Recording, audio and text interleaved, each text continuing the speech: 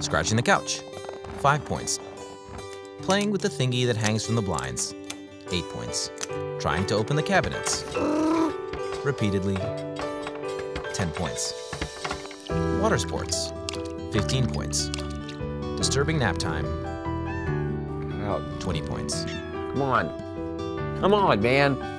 Boxing with the local flora, 3 points. Tasting said flora, 5 points.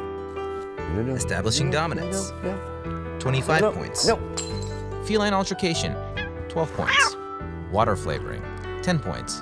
Annoying the dog, 15 points. Playing with hair, 5 points. Depositing sparkly ball into shoe, ruining makeup. Interfering with lunch, shoelace removal. Playing with points. lunch, Getting lunch. points. Trying to catch the red dot. Pointless. There's some things about cats you can't explain. For everything else, just chalk it up to the fact that they're collecting points, and there's absolutely nothing you can do about it.